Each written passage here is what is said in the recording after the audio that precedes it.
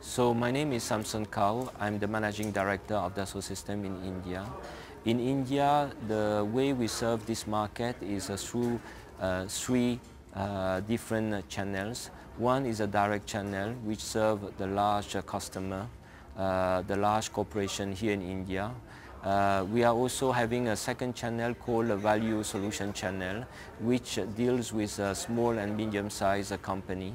Uh, and uh, this especially on uh, the tier one supplier for automotive industry here in India and not only India but India and the global market and we have the third channel which deals with uh, SolidWorks uh, which we call uh, a professional channel and they are more focusing on a company which range from micro to a small and medium-sized company. And uh, what we help uh, for those companies is to help them to uh, do a lot of product development and product innovation.